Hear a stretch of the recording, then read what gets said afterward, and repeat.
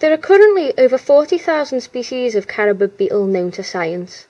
That's more than the number of birds and mammals combined. They come in all different shapes and sizes, ranging from just a couple of millimetres to over three and a half centimetres. So how do you know if the beetle you have in front of you is in fact a carabid beetle? Well remember that all beetles have three segments, the head, the pronotum and the elytra. In carabid beetles, these elytra or hardened wing cases. Cover all of the abdomen. They also have these filiform or thread-like antennae which have 11 segments, the ends of which never end in a club-like form.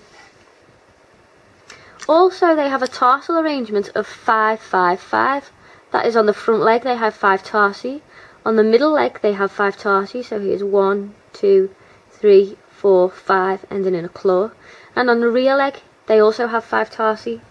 If we look at it from underneath or from a ventral view, we'll notice that attached to the base of the femur is this appendage here. This is called the hind trochanter.